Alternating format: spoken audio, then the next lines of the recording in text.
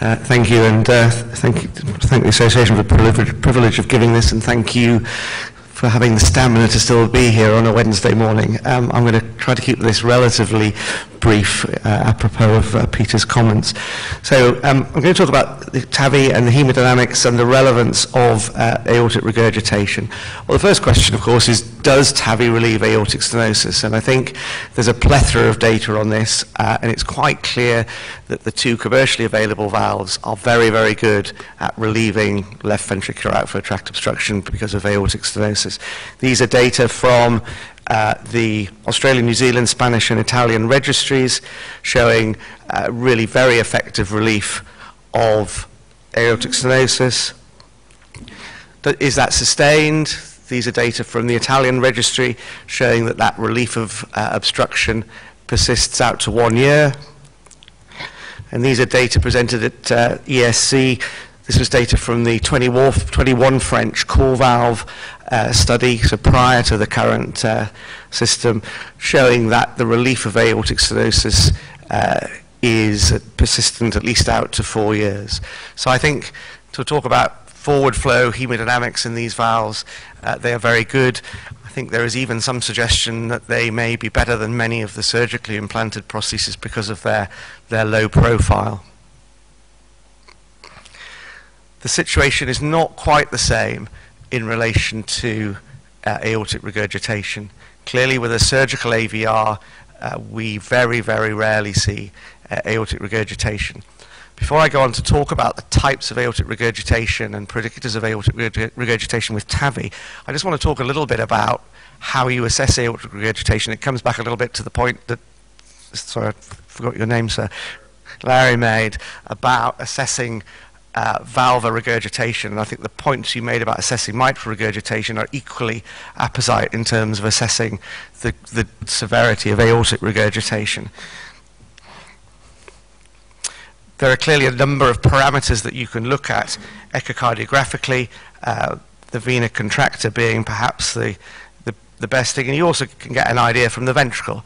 You know, if you, uh, the, the, the, severity of AR can be uh, assessed to some extent by uh, looking at ventricular function. Continuous wave Doppler is obviously used, and these are the sort of typical findings of somebody with very severe aortic regurgitation. Clearly, if you have severe aortic regurgitation, you can look at flow reversal in the descending aorta. But this slide is not to be read. This slide is, gives you an idea of the complexity of evaluating aortic regurgitation. And I think whenever you have a slide like this about how to evaluate something, it means there's not really a very good way of doing it. Um, I was a little bit late today because I had some slight IT problems, so I do apologize for a couple of these videos not working. But I think you can see here this is uh, paravalvular regurgitation occurring posteriorly around uh, a CoreValve prosthesis. I think it's quite an interesting observation. I don't know what other people have found, but uh, the, the paravalvular regurgitation is certainly much more common to be posteriorly uh, related. Um, and I think maybe we can, in the discussion, we can talk about why that might be. Uh, again, some very nice data from the Italian registry about the incidence of paravalvular aortic regurgitation and what happens to it over the first year. Uh, and you can see here that, that there's about 20% of patients who have grade 2 or grade 3 aortic regurgitation. And I think if one looks at the other registries, it's pretty consistent that about 15 to 20 patients have more than mild paravalvular aortic regurgitation. So what, what causes this? How can you predict this? Uh, again, the Italian registry, data in relation to positioning of the implant. One of the problems with the CoreValve is, is the tendency to get the implant a little bit deep into the ventricle. And you can see here that that type of malpositioning is associated with a higher degree of paravalvular aortic regurgitation. What else predicts regurgitation? There's a number of papers looking at the ellipticity or eccentricity of the aortic annulus. Um, as you all know, the aortic annulus does not exist. It's a virtual structure, it's not an anatomic structure. And if you look at um, CT scanning of the aortic roots, which we use in, in every patient being assessed for TAVI, there is, real, there is really a very wide uh, variability in eccentricity and shape of uh, the left ventricular outflow tract at the level of the so-called annulus. And here another uh, paper from uh, the Leipzig group, again showing, uh, looking at a, they used a TAVI echo symmetry score uh, of the aortic annulus and found that the more asymmetric the annulus was, the more, the more chance you had of having paravalvular aortic regurgitation. There's been a number of presentations and a, a small number of publications. Uh, this was quite a hot topic uh, at, at, at, ESC uh, a month or so ago. Uh, this article showing that predictive factors for, for aortic regurgitation were, were males for some reason, a large aortic root, and I think that, is, that has been shown by a number of other um, uh, units and authors, and asymmetric calcification of the aortic annulus. Um, another group here looked at um, the, not just the amount of uh, aortic uh, valvular calcification, but where it was. And they found that the location of the calcification was also uh, a risk factor for, for developing uh, aortic regurgitation.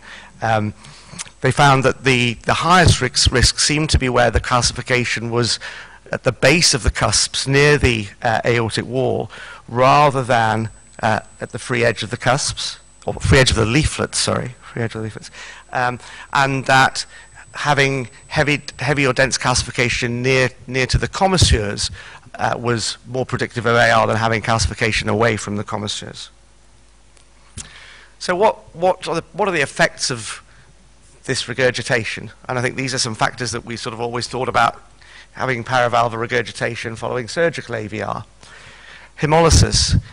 It's not uncommon, as we know, to get hemolysis with paravalvular leak with a surgical valve. Um, we looked at 20 patients with more than mild paravalvular aortic regurgitation following a CoreValve implant, and there was no evidence of hemolysis in any of those patients. So I think that's an indicator that the type of regurgitation that you get is different. It is not the same as the paravalvular regurgitation that you get following a surgical valve. And I think, to my mind, looking at lots of these echoes, the, the, the, the pictures that you get, I think, is, is of multiple kind of serpiginous flow through little tracts rather than the sort of punched out leak that you get around a surgical valve.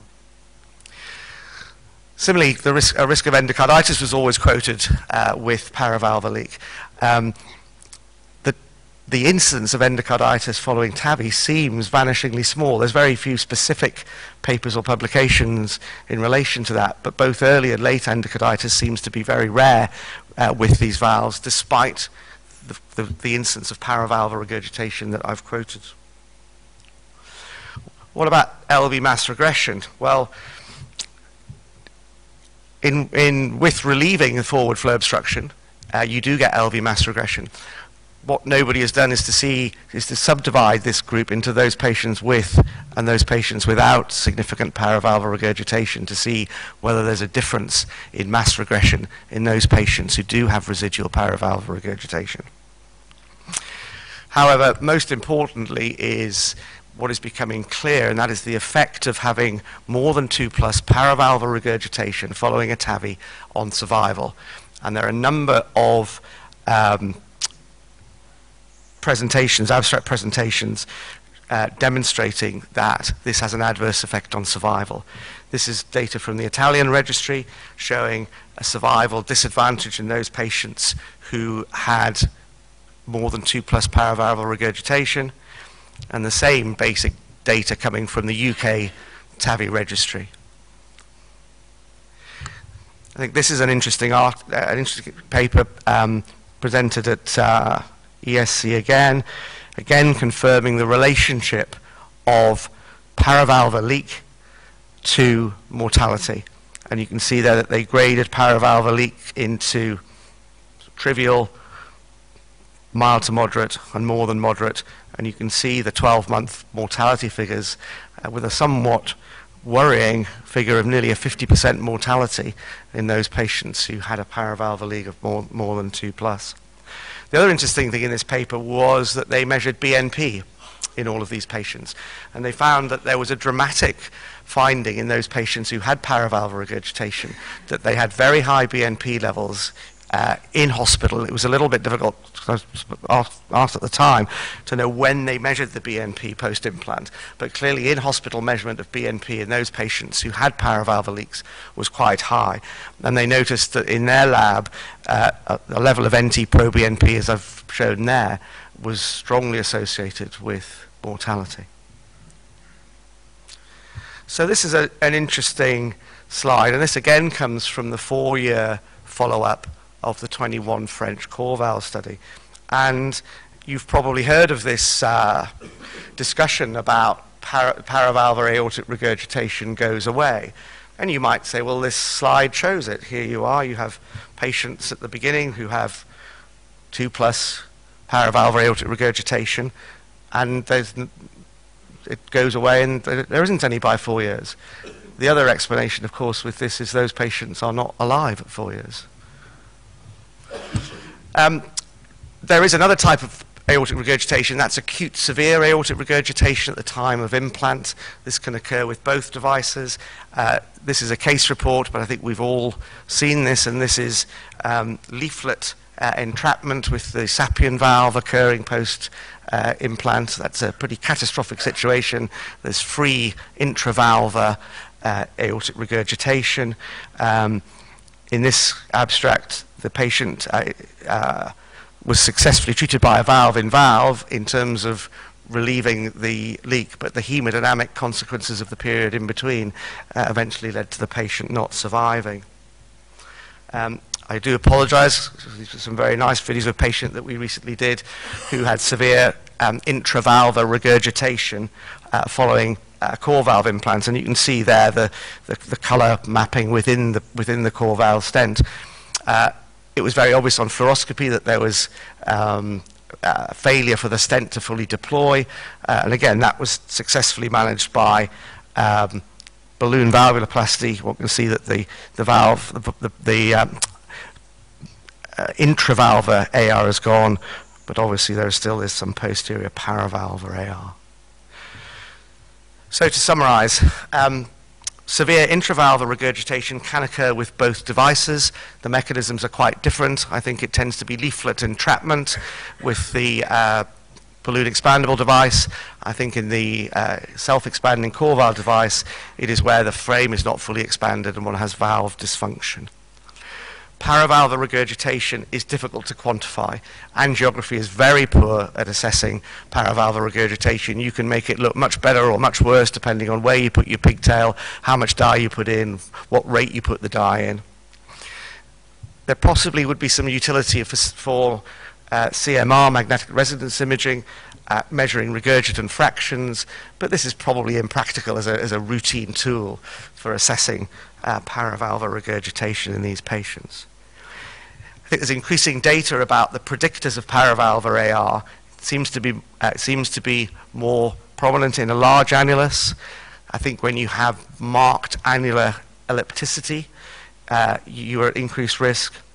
And I think there's an increasing amount of data showing that the volume and distribution of calcification, and possibly even the density of calcification, if one looks at Agatston scoring of, uh, of CTs, you may have quite a bulky uh, calcification in the valve, but it may, may have very low density, and that may be less problematic than a smaller bit of calcification, which has a very high density.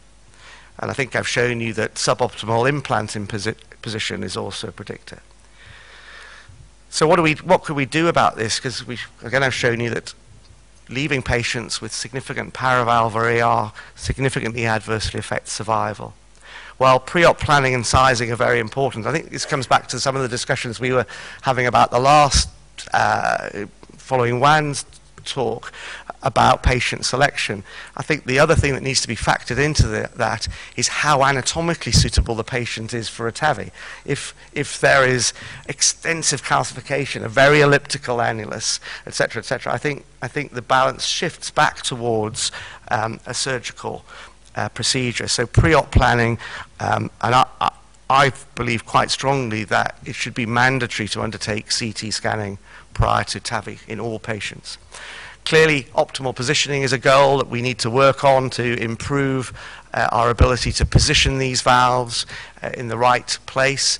Uh, some new valves coming through that allow one to, to remove and reposition the valves may provide some utility in improving uh, positioning. I think if you do find yourself with um, paravalvular AR, it's very important to try to evaluate this uh, at the time of the procedure, not just how much it is, but what effects it's having. And I think it's very useful to measure the LVDP and compare that to, to the uh, systemic diastolic blood pressure to try to get an idea of what uh, physiological effect that is happening. And as a rule of thumb, if you, if you take a patient Uh, who has no AR as part of their aortic valve disease, they will tolerate paravalvar AR much less so than the patient who has more mixed valvular disease and AR before you start. I think the message that's coming through very clearly is that you need to correct this paravalvar AR at the time of the procedure. I think in the early days we were nervous or relaxed or a mixture of both about leaving these patients, but I think you're probably doing your patient a disservice to allow them to leave the cath lab or the hybrid OR with significant paravalvular AR at the time of the procedure. And there is a whole host of maneuvers you can use, and it depends upon the cause of the, the, the AR. So you need to evaluate, is, is it malpositioning of the valve? Is it suboptimal deployment of the stent? etc., and then tailor your treatment to uh, to deal with this. Uh, I have to say, we, most of our experiences with uh, CoreValve, although we have an Edwards experience, and the, the best way that we've found to deal with paravalve AR is implanting a valve in valve, and that is usually very, very effective at getting rid of paravalve AR. And I think the, the um, use of early post-procedural BNP may be useful, again, in assessing the physiological effect that the paravalvular AR is having on a patient, and that may be a marker that says, well, actually, you know, you need to take the patient back and have another go or do something, or in an intermediate risk patient, take them to the operating theatre and take the valve out and put a surgical valve in. So I hope that gives you a very quick run through uh, about forward flow hemodynamics and the relevance of uh, aortic regurgitation in the TAVI population. Thank you very much.